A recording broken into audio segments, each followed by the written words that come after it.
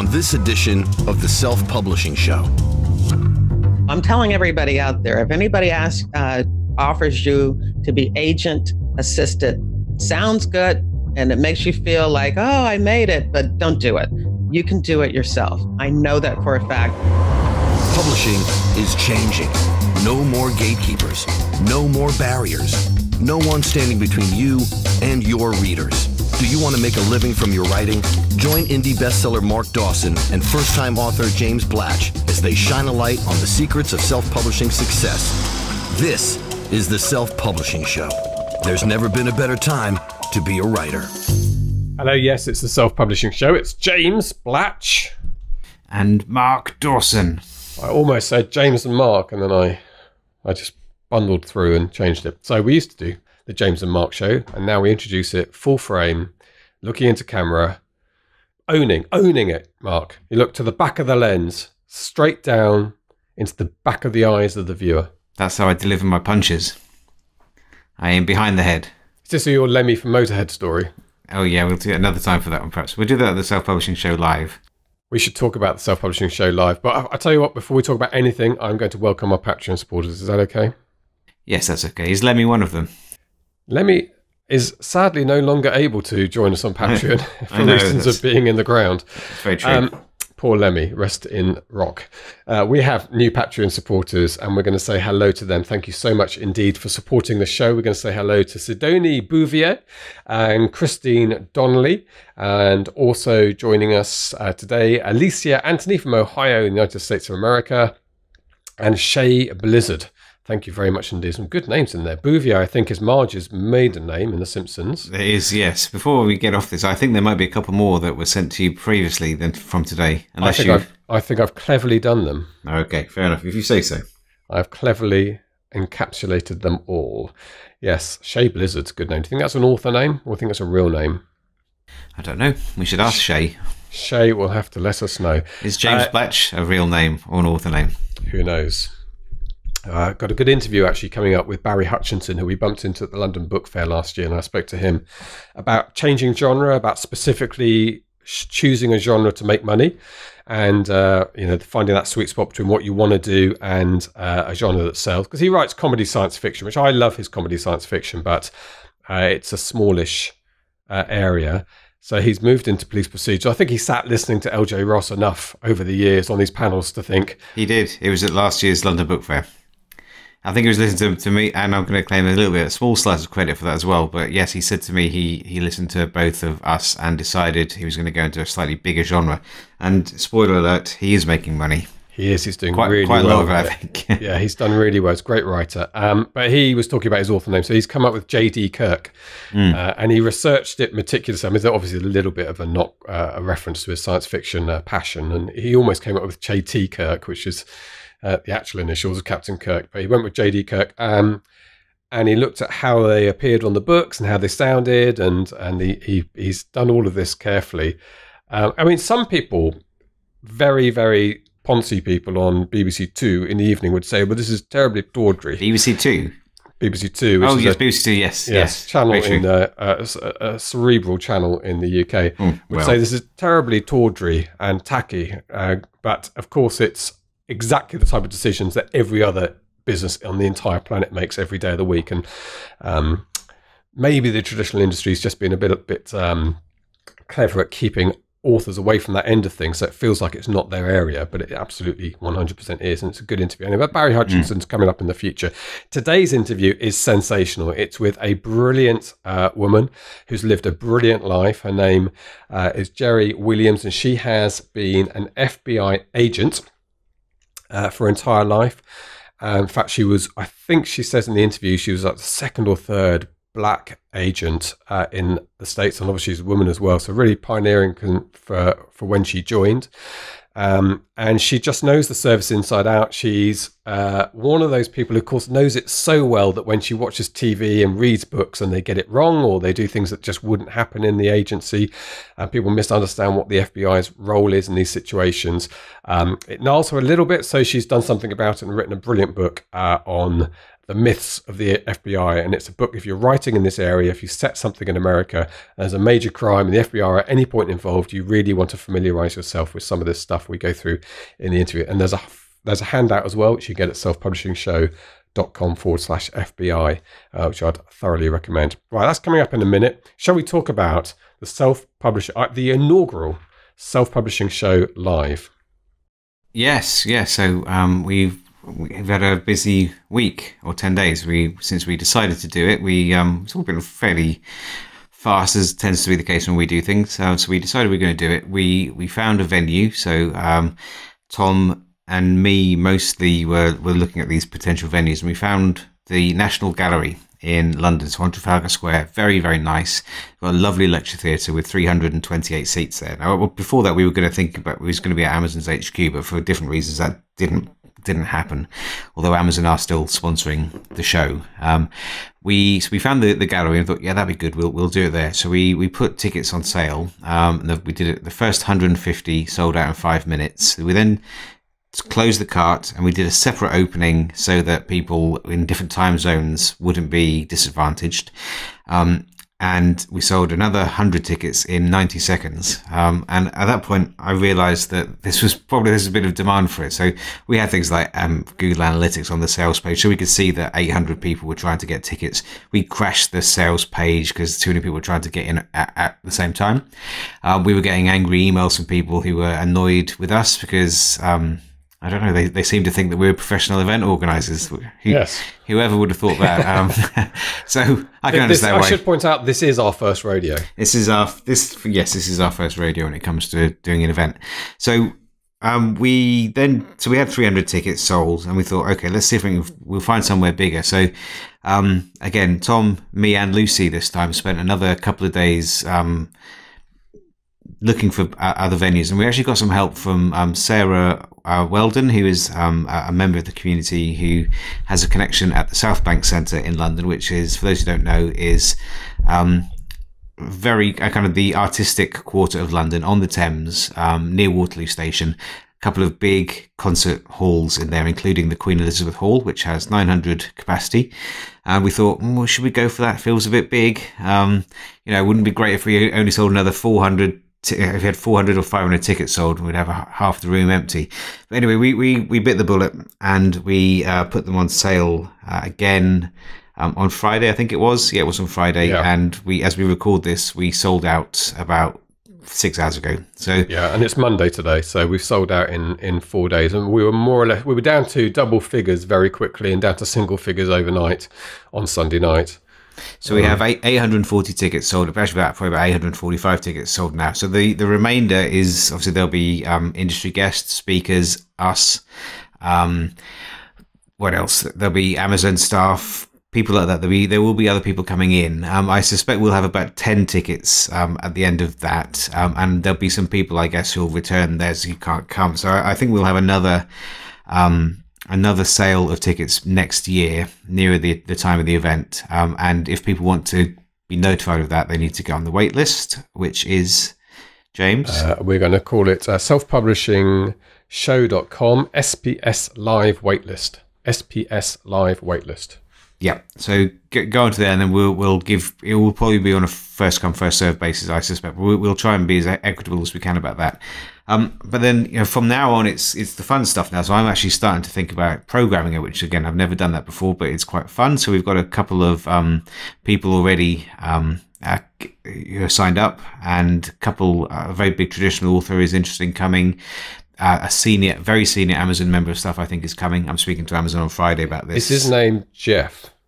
Uh, no, no, not that oh. senior.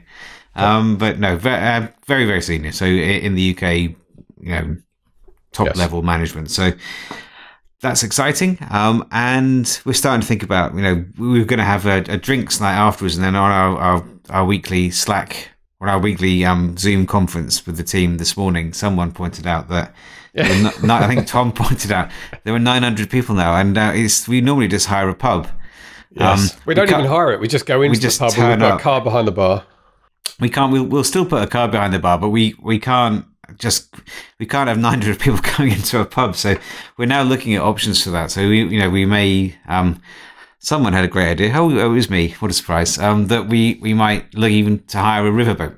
Um, so we'll see. Um, it's fun. though. this is the fun stuff. We know we've got a lot of people who want to come. So the the the what we try to do now is to make sure they have the most um, unforgettable time that they can, and they, they go away for thirty quid. For God's sake, it's ridiculous. Yes. Thirty pounds for what I think will be the best self publishing conference in the world. That is absolutely insane. Um, but there you go. That's you know Amazon want it to be cheap. We're, we're happy for it to be cheap. Um, it's it's cost effective. We'll, we'll we'll cover our costs, and any profit goes to charity. Um, so I haven't crunched the uh, the figures yet because we've only just closed the cart, but um, uh, I think we're into three figures for sure of people flying in from the states. We've got and Australia, New Zealand, Australia, two from yeah, Hong Kong. I've Yeah. seen one from Taiwan. You know, the, it's the Middle East. It's unbelievable. Really amazing. it really is. So Yeah, it'll be fun. We're looking forward to it. yeah, we're going to be on stage. You and me together is going to be our double act because this is a legendary double act. I mean, to see it live. Yeah. I said it's got to be an unforgettable experience uh, for the right reasons, though. I want that. You know, there's a person who who goes onto our YouTube channel and says interview starts at 41 minutes because he doesn't like us. Oh, yeah. There's, doesn't a, us. there's a word for that kind of person. Yes, well, I want him to be there so that he can stand up and say, "Oh, for God's sake, get on with it!" You know, every uh, and we're going to just carry on with our routine. How wide Ernie you and Wise, Ernie and Wise. Do you mean uh, Ernie and Wise- Eric, Eric Eric and Ernie. Ernie? uh, who used to dance and sing. I'm going to get all this organised. Excellent. We're going to be in rehearsals for weeks for the uh, for the routines. Yeah. Um, yeah, no, it's going to be really good, and uh, we're aiming big, aren't we, in terms of speakers? But we're also thinking, uh, uh, thinking about making sure it's pitched correctly. There's no point in having massively successful author after massively successful author. What you want to hear to hear from are people who are, may you know, a little bit ahead of you. People who quit their Well, jobs. Now here's another great idea. Who who had? Oh, it's me again. So um, we uh, well, a bit of a spoiler for those who are coming. Um, Jeff Bezos in the letter to shareholders for for 2018, so for 2017's results, pointed out that on KDP, a thousand authors had made over hundred thousand dollars in that year. So I thought, well, it would be interesting if we had some of those on the stage. So I did a quick little post into the Facebook group, and I've actually had about 17 authors who are who meet that criteria, um, who are going to be there and would like to be on stage. So we won't have all 17, but I think we'll probably pick four or five, um, and then either you or I will talk to them about their experience, you know, where they've come from, where they want to go, what their lessons are, all of that kind of uh, good stuff. And that that should be for most people, that should be something that feels achievable. So Yeah. maybe they're they're three or four steps up up the ladder from where where everybody else is, um, but that will be something that people can go away from the conference feeling inspired and hopefully have picked up some uh, useful information that will help them to get to that stage. And then, of course, you know, in 2021, if we do another one, um, we can change the stage. So there's uh, another five people who are also making a hundred thousand a year. Well, it'd be nice if they were in the audience at the first one. Yeah, absolutely. That that would that would certainly be the that would be the aim. Yeah, and of course, Amazon are going to be in the room, so they'll be there to help people at whatever stage they're at. And um, Yep. you know, Darren loves talking to people who are just getting going. Uh, he finds, I think, the most value in his conversations at, at London Book Fair. And then, this is good. and Go then on. fun. Another fun, fun idea. Who had this? Oh, it was me again. Um, that um, we, we should um, we should get some t-shirts. Um, and Yes. Amazon has a, a- a t-shirt or kind of a merch business called Amazon Merch. Um, and uh, maybe we can get a deal so um, everyone gets a t-shirt. Um, and then a very good number, if they're sensible, I, I would definitely do this. We'll be at London Book Fair when it opens on the Tuesday. And wouldn't it be amazing if we had 500 indie authors turning up in identical yeah, branded T-shirts um, saying something about how you know, tell me about my seventy percent royalties or something along, Yeah, along yeah. those lines. That would be just ridiculous. And uh, 0800 70% royalty. and we'd have to set up a ca- we'd have to set up a camera somewhere so we could see these people coming into the conference yes. and watch the reaction on the faces of all the. Uh, of the of the staff members on the Titanic, Yeah. as, uh, the, as lots of icebergs um, We, yeah, exactly. We do a lot of our thinking out loud, but we should also potentially contact LBF and say we've we've got No. this conference. Well, because they might do us a deal on tickets. Oh yes, no, that's true. No, I think that's very possible. Yeah. Yeah. Um, good.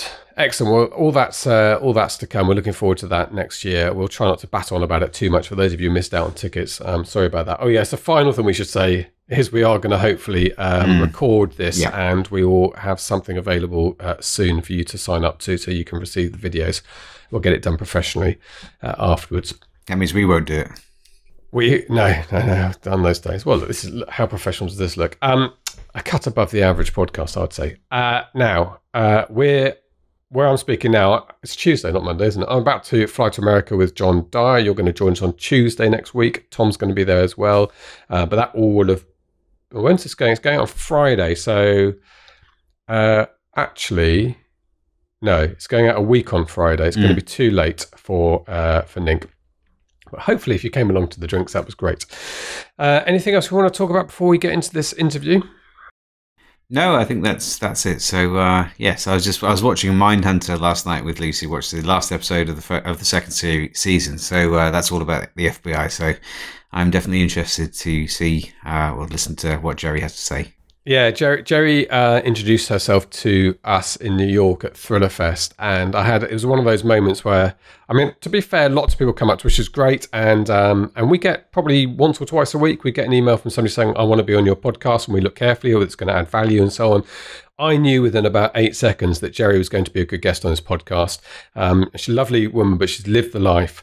Uh, she has the the knowledge, but she also has that foot in the fiction camp, so she understands stories need to have license and move away from stuff. It's just understanding when you're doing that and when you're uh, when you want to get it right for authenticity. So it's a really good, uh, really good subject. I'll give the uh, giveaway URL away again now, which is selfpublishingshow.com forward slash FBI, Federal Bureau of Investigation. Uh, and you can get a download there, uh, uh, sort of a taste of the myths uh, of the FBI that people frequently get wrong. But Jerri also has a more comprehensive book on the subject. So let's hear from Jerri, then Mark and I will be back uh, to have a chat off the back of the interview. This is the Self Publishing Show. There's never been a better time to be a writer. Jerri, welcome to the Self Publishing Show. We have a real live bona fide FBI experienced officer. I mean, I should say former. I'm not under investigation as far as I know at the moment. no, you're not. And I am absolutely thrilled to be here. Well, we should say that we we met in uh, in New York. You came up and said hello to us whilst we were at Thriller Fest, and as soon as you told me your background, your job, and your sort of um, purpose in life, which is to help those people writing in the genre to get the FBI details right, or at least understand when they're cutting corners. And I thought straight away that, my friend, is a self-publishing show episode. Absolutely. Thank you. And I also want to let you know, I don't think you know this, but I am an F, uh, I can say right, SPF 101 graduate. Everything that I've done as far as self-publishing, I've learned from your show and from the uh, the course. Super. So, thank you. Well, that's great. It's lovely to have you in the community, Jerri, and uh, and thank you so much for taking some time out. Now, you've you've written a book which we're going to be talking about, which is Myths and Misconceptions uh, about the FBI, and uh, we're going to go through some of those, uh, which is going to be useful. I think also you said that you can put together a little takeaway for people listening, a little PDF. Yeah, I actually have what I call an FBI reality checklist. And it goes through what I believe are some of the top 20 cliches and misconceptions about the FBI that I see in books, TV, and movies. And so I put in those, I put those together. They're basically the chapters in my book, but I've put them together with you know a couple of sentences to help you get that misconception straight. Uh, but of course, there's a lot more information uh, about that in the book. But you know, I'm also a fiction writer, so uh, you know, I do crime fiction too. So uh, that's how I initially, you know, started in this journey.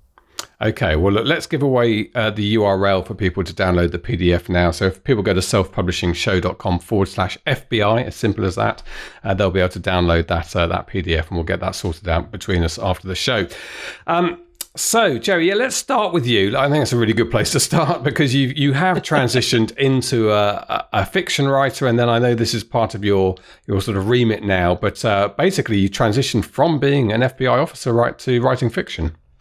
Yes, absolutely. So during my whole time in the FBI, and I was in for 26 years, I always knew that I wanted to write a book. I'm a big crime fiction reader. I've read all my life, and I knew that I wanted to write. And during that career, towards the end, I found a case that I thought, okay, this is the perfect case. And so my goal was as I was leaving the FBI to gather as much information as I could about this real case that I knew that I would fictionalize into a novel. And, uh, you know, I started working on it before I left the FBI. So, what was it about this particular case that jumped out at you and, and made you realize it could be a, a fiction story? Well, actually, two of my close friends in the office, two female FBI agents, very attractive women, were investigating corruption in the Philadelphia strip club industry. And so they were going after a corrupt uh, commissioner who dealt with the entertainment area. Uh, uh, and, you know, they were out every day talking to strip club owners and strippers and the patrons. And when they came back to the office and they would tell their stories, I just was mesmerized. And it really was a huge case also in the paper. You know, it was covered every day in the Inquirer and in the uh, Philadelphia Daily News. And I thought, oh, this is just too sexy to, to, to, to skip. This, this is the case. And so what I did is I created my own female FBI agent who had a, a, a, troubled past and some flaws. And I put her in this situation and just kind of watched her go a little a, a, little off. And so it's a different take on an FBI investigation.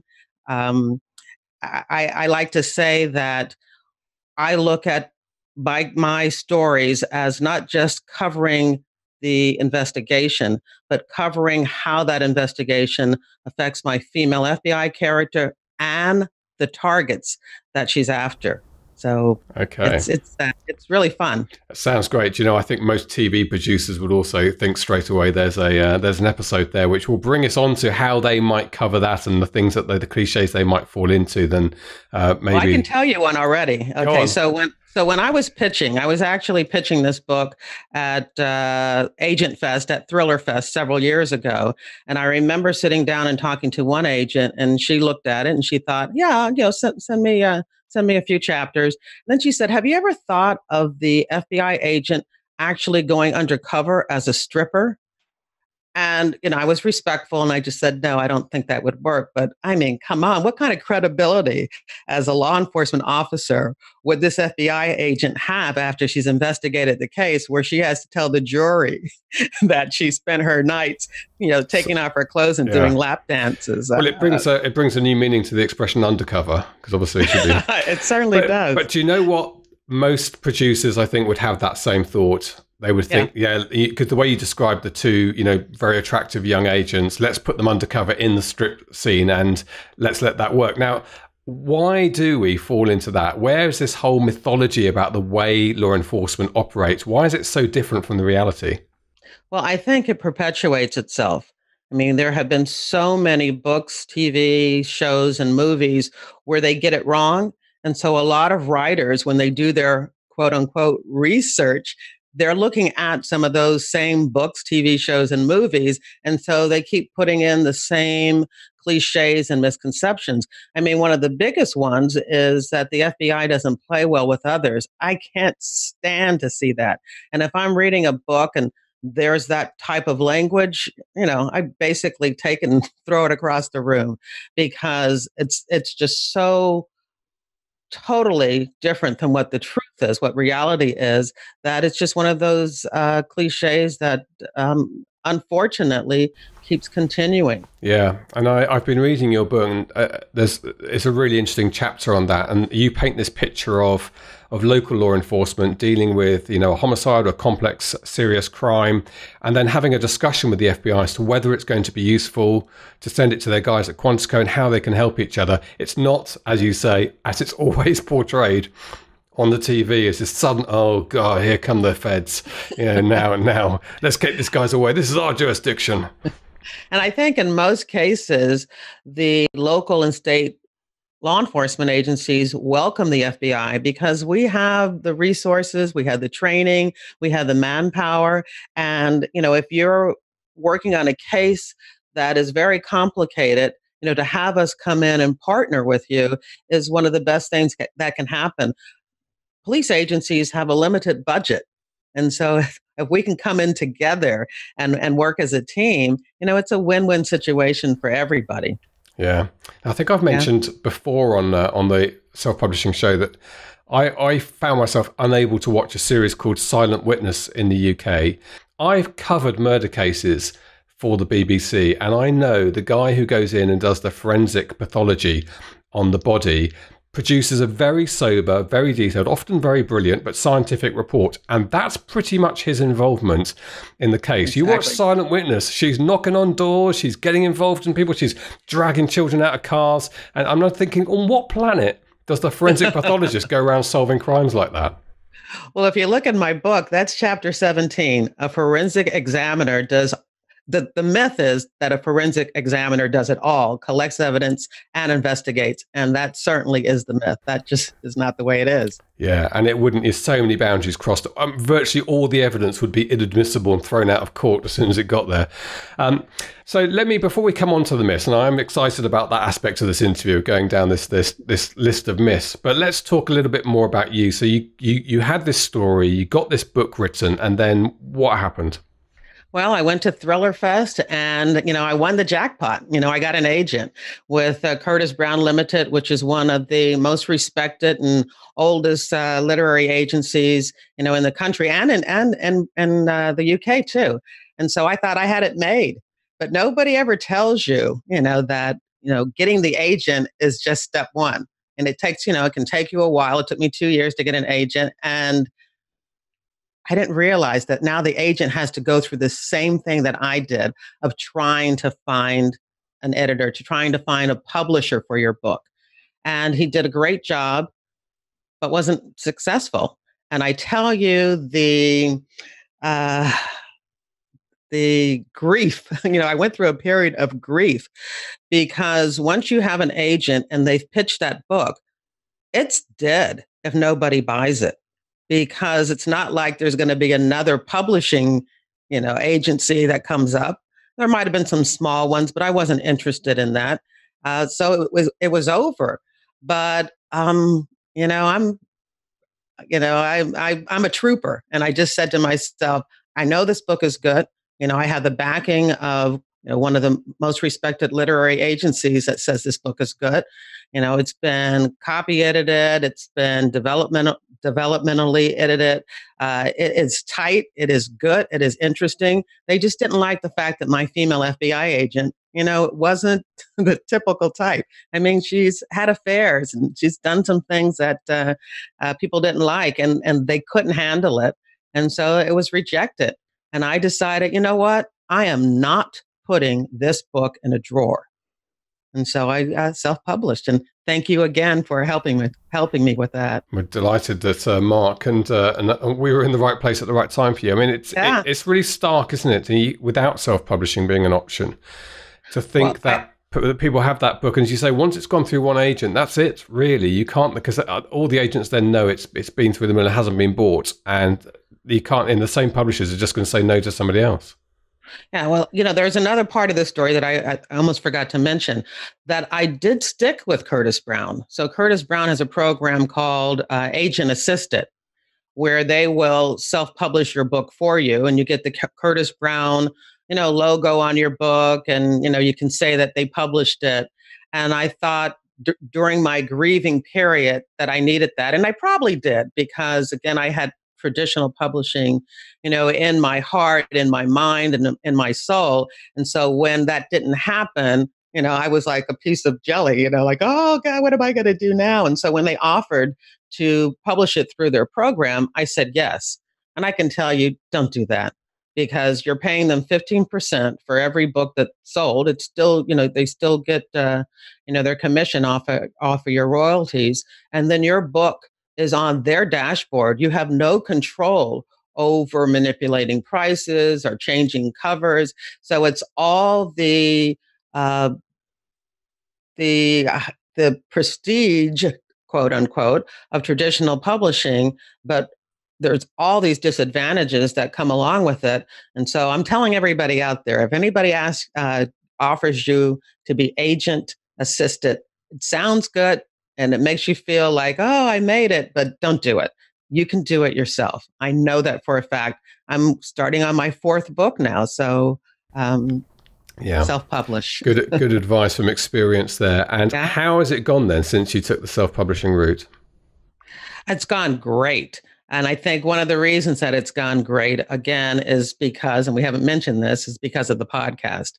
I mean, the podcast uh, that I do, FBI Retired Case File Review, is you know a, a great uh, content marketing lead magnet kind of for for my book. So you know I'm talking to people every day. Each episode is averaging about ten thousand downloads within the first month or so, and so these are the people that I'm talking to every day, and these are the people that are buying my books. And so that was a brilliant move by yeah. me. Yeah.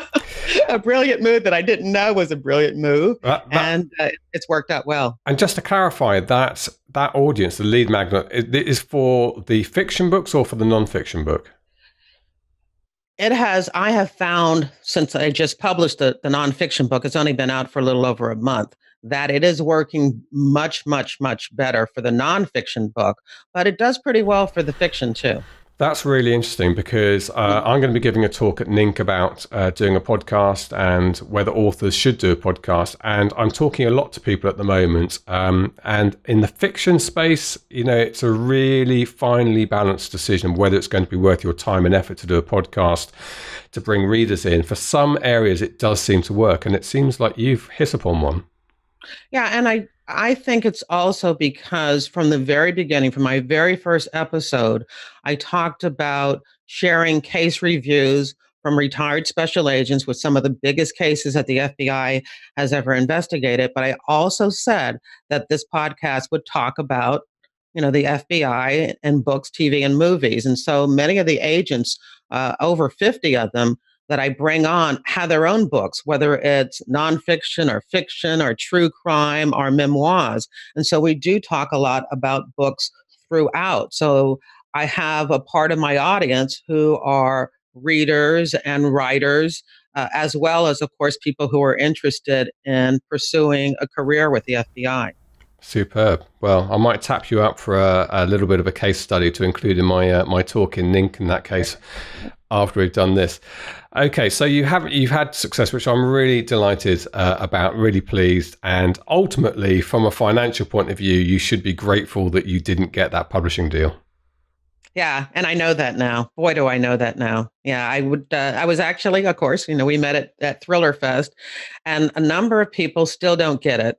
And this is what I can say: the people that I have met early when I was attending Thriller Fest, and I've gone seven times, that were looking for a publishing deal when I was looking for a publishing deal are still looking for a publishing deal. And I just don't get it. You know, if you truly believe in your work, why would you wait? It's really eight years because I skipped one of the Thriller Fest. Why would you wait eight years to get your book published? You know, if you truly believe in it and you try, you, you want to go traditional, I can understand some people don't have the business um, skills that you need to self publish. And we've got to admit that. But if you truly believe in your book and it's just not happening, I mean, eight years? Yeah. I, I don't, Crazy. okay, right, Jerri. I want to move on to the fun part. This has been fun so far, but uh, to the bit I've been looking forward to most uh, about this interview, which is to go through some of the myths and bust some of them, and help people uh, who are writing. And of course, it's not just procedural and crime. The FBI can come into romance books, into all sorts of genres. Absolutely. You know, when I'm talking about uh, creative license and creative compromises, I understand the need for that. You know, sometimes even if you know what you're writing is not necessarily accurate, you need to manipulate it in order to tell the story. I've actually done that myself in my crime novels. You know, I, I cringe, but I have to do it because, say, for instance, uh, in reality, a piece of evidence in a court scene is authenticated before you can talk about the evidence. But if it doesn't work that way, I need the person to show the evidence before they bring on the person to authenticate it. Then I'm going to switch it around. I'm just going to do that.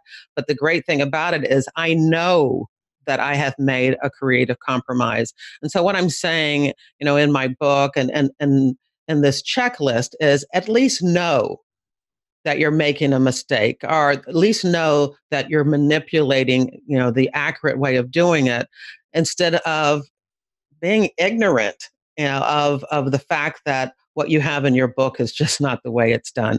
I mean, when we talk about uh, cliche number two, which is that FBI profilers are hunting serial killers. Well, I can't tell people, you know, to write how it's accurate because then there would not be a serial killer genre because all of those books show the FBI profiler, you know, running down a dark alley or into a dark basement chasing a serial killer. And profilers are really academics. You know, they're they're sitting back at the FBI Academy receiving reports and files and going through them, trying to help police officers around the country and FBI agents around the country solve unsolvable cases but they're not out there in the field investigating them. Yeah, well, we have Thomas Harris to thank, I think, for the explosion. Yes, in... I blame I blame him. Yeah, yeah. along with Jodie Foster and you know the whole gang. And uh, and the whole the whole premise of those books, um, and particularly, of course, the the film with Hannibal Lecter's you know compelling ability to to work out the profile of the person that Agent Starling's after. And and subsequently, I mean, every TV episode does seem to have the profiler turning up at the scene and then telling them this is what they're going to do next and this is why they've done it. It's not, and you're saying you're telling us it's just simply not like that. It's simply not like that. And I have lots of episodes with uh, profilers, FBI profilers, retired FBI profilers, and agents who have actually worked alongside local police departments on serial killer cases. I, I interviewed uh, uh, Dan Kraft, who was the FBI agent who worked in Wisconsin with the police there on the Jeffrey Dahmer case, and he interviewed him four times. But he'll be the first one to tell you that that Jeffrey Dahmer case is a they're, they're local murders, they're state murders. Uh, so, and although he participated as a local FBI agent, not as a profiler back in the field, those were cases that were under the jurisdiction. Uh, at the leads were the police officers and the detectives, and not the FBI.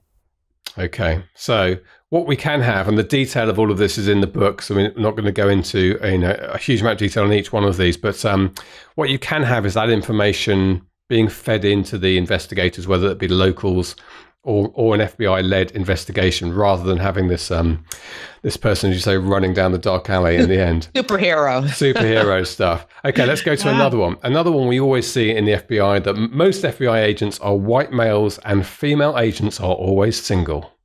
Yes. Oh, that really irritates me. And that's one of the things that I did in my book. Of course, my lead is a black female FBI agent.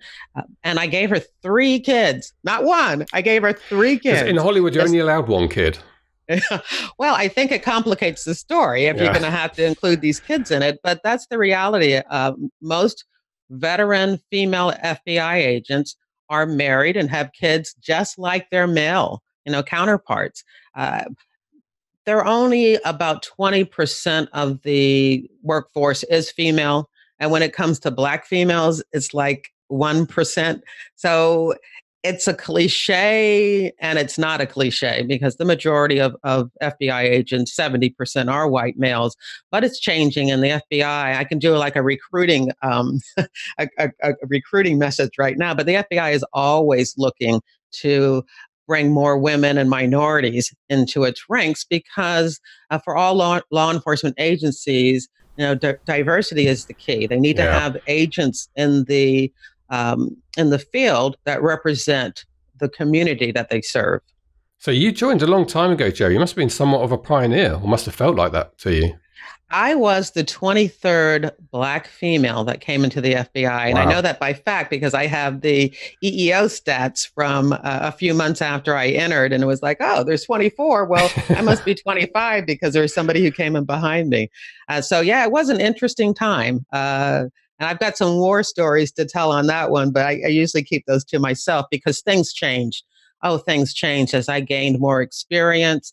And as more women came in and more minorities came in, and by the time I left, uh, there was there were no war stories to tell. Only you know a fabulous, fascinating career you know that I used to write my books. well, yeah, I can well believe uh, that you were there during that transition, and it must have been there must have been some hard. I guess we're going to call it character forming uh, early years, but you you must be tough, Jerri, to get through that and to grow. Yeah, yeah. I have, I worked most of my career. I worked fraud and corruption, what we call economic crime, Ponzi schemes, advance fee schemes, and business to business telemarketing cases. I was extremely successful. I had a case that made it to American Greed. Uh, the the big TV show on CNBC, and uh, you know got lots of awards. And I think most uh, interesting thing about my career is that somebody who came in kind of unsure themselves in the last five years of my career, I actually was the spokesperson for the Philadelphia FBI office. My full time job was to deal with the media, uh, TV producers, movie producers, writers, making sure that they got the perception of the FBI correct. So this is not something that I'm doing now uh, that I just made up. I, I, was doing it in the FBI in my last five years. And so I really feel that I'm coming to readers and writers with a strong knowledge of the FBI. I think my book is the only one out there that is FBI procedures for writers. Okay, well, let's carry on. I'm going to skip a few of the myths um, okay. And go to number nine, which is that agents use intimidation and threats during interrogations. And the reason I pulled this one up because it's a very common portrayal oh, when the invest- when the interview starts.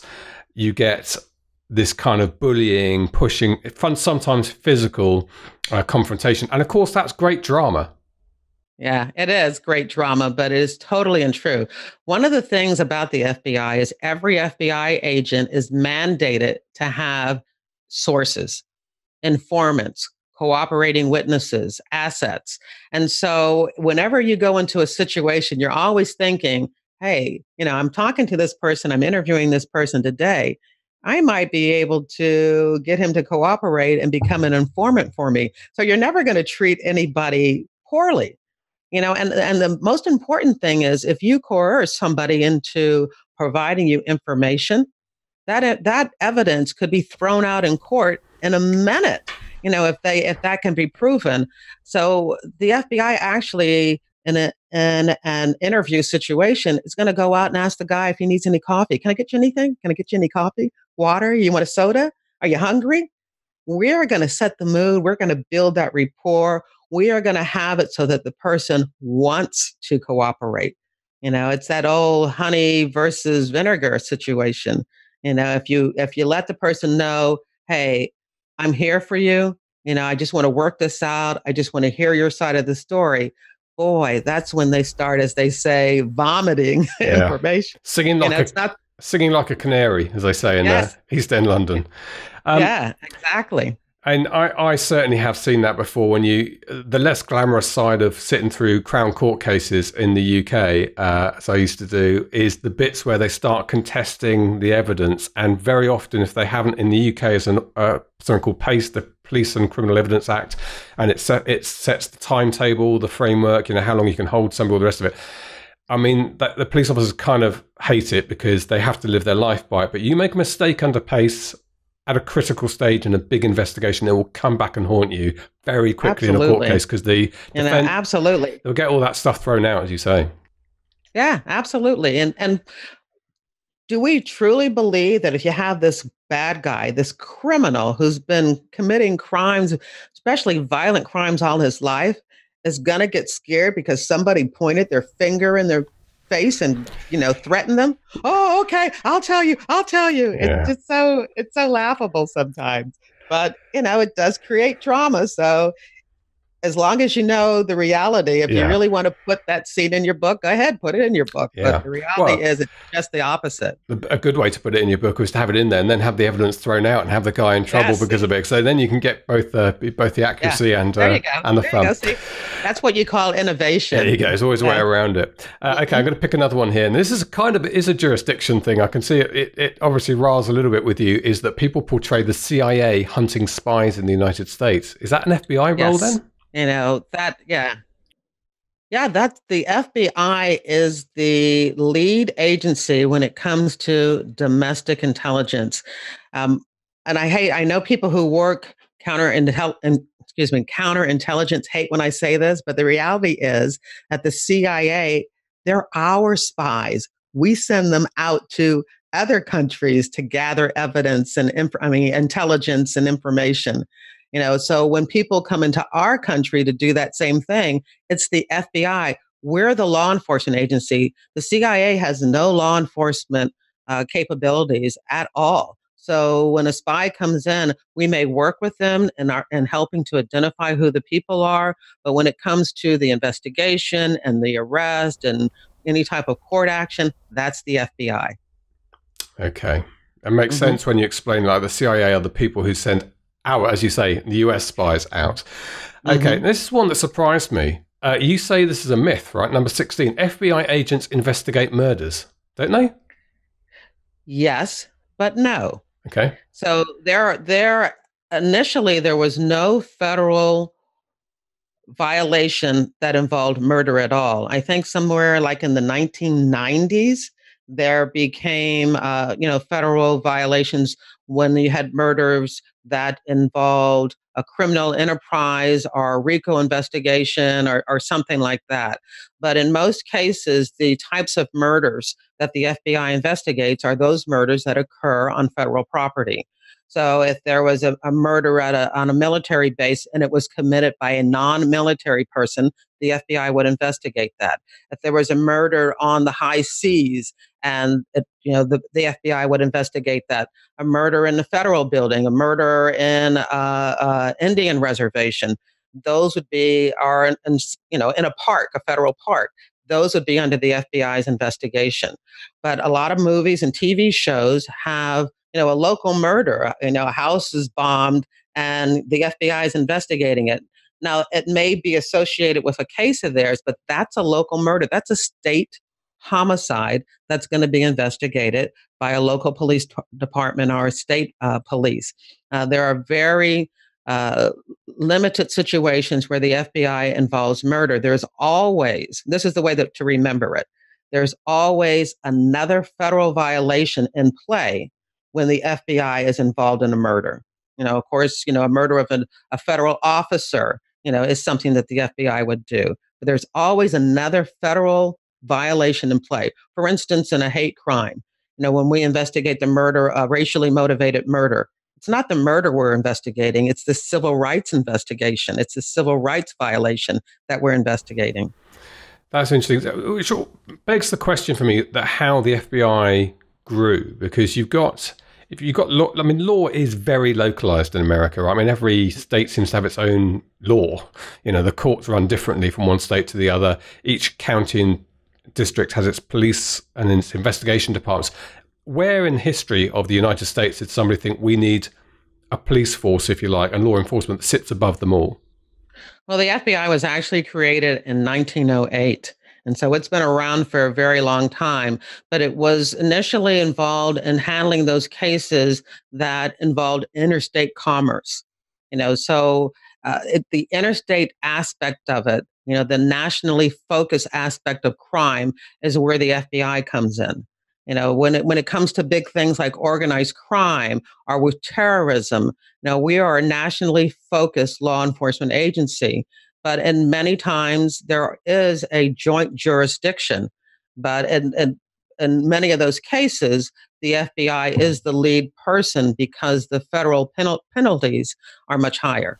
Okay, that does make sense. And I think in the UK, we're seeing a bit of um, uh, this cross county lines, county lines drug dealing and gangs going on at the moment. And it's a problem because they deliberately exploit the fact that there's a bureaucratic difference between the regions. So I can see how the FBI was uh, was founded to combat that. Okay, I want to go through a couple more of these. We're racing okay. through the time, which is great, but I am loving this. I think it's quite gripping, regardless of what you write. Thank actually, you.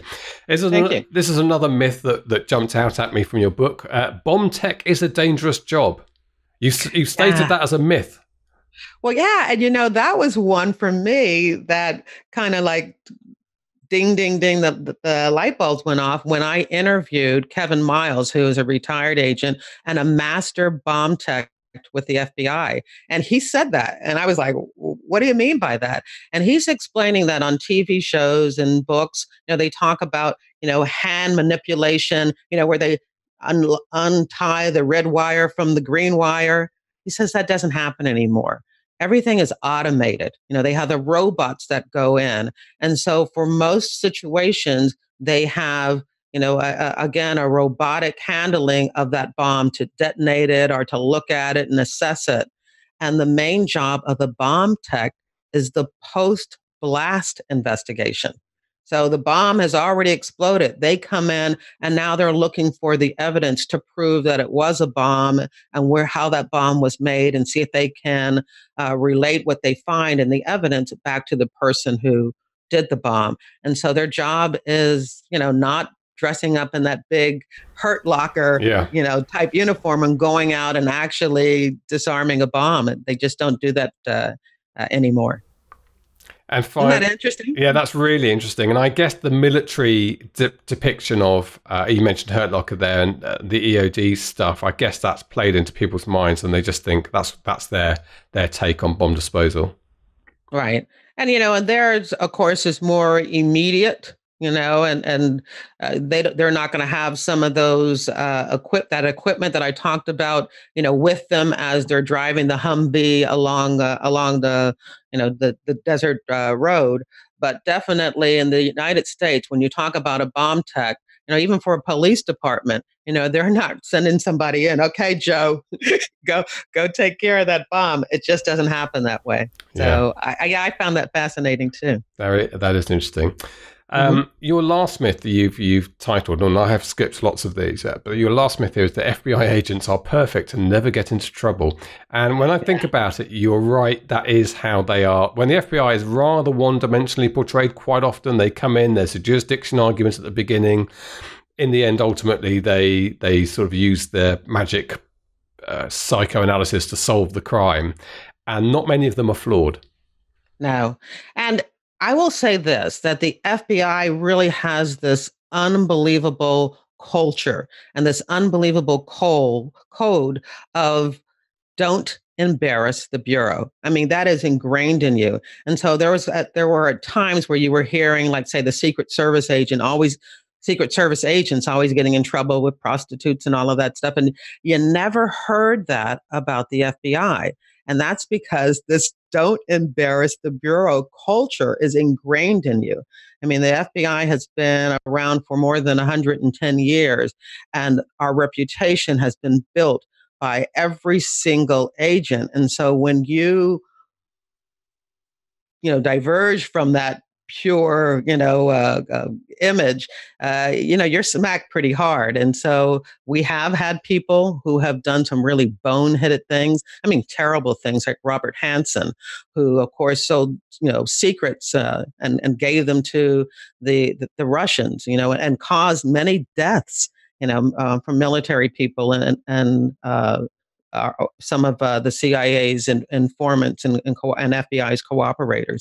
And we've had F- FBI agents who have murdered their informants. Um, and of course, you you know what's happening now. Even though I don't necessarily consider uh, uh a, a, lot of that the way some people do, I don't think there is a conspiracy in leadership in the FBI to you know to take down. I, it just can't happen. Which is you know w- what you have to look at when you talk about a com- conspiracy theory. But yeah, the FBI has in its past done some things that the American pub, uh, uh, public have taken a second look at. But for the most part, I mean, you just don't hear those things about the FBI because we really believe in fidelity, bravery, and integrity. And that integrity part is, you know, deep in every FBI agent's DNA and their mindset. You better just spell out to people, uh, Jerri, where people can get the book, what it's called, and also your podcast. Yeah, the book again is FBI Myths and Misconceptions. A mind. I don't even know the title of my own book. I think that's right, isn't it? FBI Myths and Misconceptions. yeah, but it's a it's a uh, a manual for armchair detectives is the uh, the subtitle, and that book is available everywhere. So I know that Mark talks a lot about Amazon. Now, I decided to put it everywhere, and I mean it is everywhere that you can get it. Uh, uh, and it's, uh, again, doing very well. Uh, my website is jerriwilliams.com, and the podcast is FBI Retired Case File Review. And I have 178 episodes that you can listen to of retired agents talking about every single violation that you can imagine. So if you're working on a novel about organized crime, I probably have 10 interviews that you can listen to there. If you're doing something on spies and, and counterintelligence, I probably have 10 there. It's I've got I've interviewed on every I've done an interview on every violation of the FBI that I could think of. Well, and they're all there and they're free. what a fantastic repository uh, for history as well, not just uh, for useful oh, yeah. for authors. So fantastic, Jerri. Thank you so much for that. Uh, I think you know I'm already starting to think back to everything I've seen that involved the, the FBI, and uh, I'm thinking of Agent Dale Cooper in Twin Peaks, and now I'm wondering why did he turn up to investigate a murder, a local yeah, yeah. a local murder? So all these things, of course, we just took. I, I said the same thing when the show came out. Um, say, can I add one more thing that I? That yeah, I've you done? go ahead. There's a new TV show. Most people know about the FBI from TV shows and books. And there's a new TV show that came out last year called FBI on, on our on CBS channel. And last year, I did a blog post on every single episode. There's there were 23 of them, which I was shocked because I was hoping that it was only going to be 12 or 13. So it became a part-time job. But for every episode, I went in and I reviewed what they got right and what they got wrong. And again, I shouldn't say right and wrong, but where they took a uh, a creative compromise. And I said, this is the way they show it on the show. This is the way it really would happen. And so I think that would be also something that would be very helpful to people writing crime fiction involving the FBI to take a look at those blog posts. And I'm going to do it again this season. Fantastic. What a brilliant way of, uh, of uh, using your knowledge and people learning from you. Jerri, that's what we've done. We've learned from you. It's been really, I knew it would be, I knew from the moment you, you spoke to me in the Grand Hyatt in New York that this was going to be a good interview. So I'm really pleased you've come along. Uh, remind people that they can go to selfpublishingshow.com forward slash FBI to get your handy PDF takeaway and they can yes. go and find your book. And I want to wish you success with your books Thank you. Going forward. And I also want to say thank you for your service in law enforcement. I mean, it's a, dedication that's decades of, uh, of service to your country, and uh, we appreciate that. Well, thank you. Thank you so much. This is the Self Publishing Show. There's never been a better time to be a writer. There you go. Very impressive, Jerri. Lovely woman as well. And um, uh, I found that really interesting. It's it's an interesting area. Uh, you operate in your books in the sort of um, semi-fictitious world where spies are you know it's not as easily understood how they operate. So you have license i think license to kill. You have license to move a little bit away from procedure when it suits you. Mm.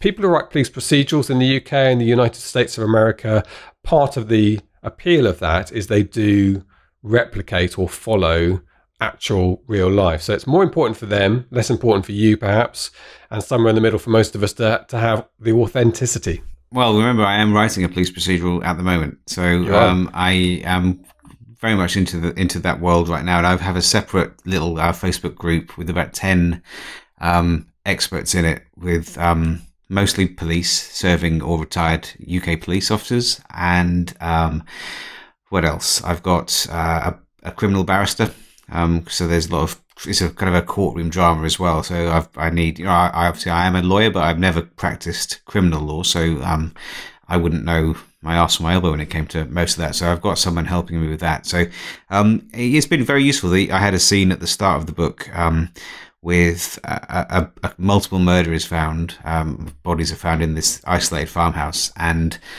um, although it's based on a true, a, a real life story so I could read about what actually happened um, 25 years ago. I the way I wrote it, I sent it to um, a fairly senior detective um, uh, sergeant in the Met who has done a couple of quite uh, well-known cases, and he said, um, "Well, you know, armed response was turning up because if there's there's they think someone is still in the house with a gun, you're going to wait till armed response comes. For you know, for American listeners, our police aren't armed." Um, so um, if something like that happens, they have to call, call forward armed response car to turn up. And so he was giving me lots of procedure on who they would call, um, which officer would be in charge for effectively authorizing lethal force, all of that kind of stuff, which was is quite hard to find that out. So it's very useful to have those kinds of connections who can um, point me in the right direction. Is it the Bamber case you've based your? It is the Bamber case, yes. Uh, that's a really interesting real world uh, case. Mm. Yeah, well. I think it's coming to. Annoyingly, I didn't only realize this about three months ago. ITV are making a, a dramatization of it. Um, are they? Which is very, very annoying because it hasn't yes. been. No one has. I said that to no. I said to people, "Have you heard of Jeremy Bamber?" And a lot, a lot of the times, like, nope. Now, of course, a lot of these people are younger than us, but it, yes. you know, this was this was eighty. I don't know, eighty-five. I think it happened. Um, so I wasn't that old, uh, but it was it was a big case. It was a very yeah. big case because he's a very handsome chap yeah. and he's quite and glamorous. He, he's the son, and he was in on TV making the appeals, and mm. and it was quite a long time before he was arrested. And police to this day call it doing a Bamber when you're at a crime scene and you're you're missing the really obvious thing is that the one person you're talking to who looks completely innocent as one of the victims actually was the perp. Um, According, so, according, to yeah, according to them, he still, which is weird. Thirty years later, he still protects innocence, which is I think yes, is interesting. Um, yeah, but yeah, it's a very interesting case. So anyway, yeah. that's that's my jumping off point for the House in the Woods, which is what the new one is called. Um, and I'll be, yeah, it's fun. I'm having a lot of fun with it. Came up with some good ideas. What on dog walks over the weekend, as I usually do. So that was that was good. Thinking about Atticus. Yes, Atticus Priest. That's him. Excellent. Good. Okay. Well, look, uh, I want to say thank you so much indeed to Jerri Williams uh, for her interview today. And uh, reminder you can go to selfpublishingshow.com forward slash FBI uh, to download a free PDF that she's created just for us uh, with the things that people get right and wrong about the FBI to help you with that side of things. And uh, that's it. I will give out the waitlist URL again, I guess, which is selfpublishingshow.com forward slash SP S Live wait list, all one word type thing. Um, and if tickets become available for the show uh, in March, we will roll them out to people on that wait list in order. That's it. Good. I'm getting on a plane. Actually, I'm not. We're going to record another episode. We're doing another episode. Oh, yeah. We're, absolutely. We're going to batch two together. So I shall say goodbye properly in a minute. But for now, because we always do this, I'm going to say it's goodbye from him. And it's goodbye from me. Goodbye. Goodbye. Get show notes, the podcast archive, and free resources to boost your writing career at selfpublishingshow.com. Join our thriving Facebook group at selfpublishingshow.com forward slash Facebook. Support the show at patreon.com forward slash self publishing show. And join us next week for more help and inspiration so that you can make your mark as a successful indie author. Publishing is changing so get your words into the world and join the revolution with the Self Publishing Show.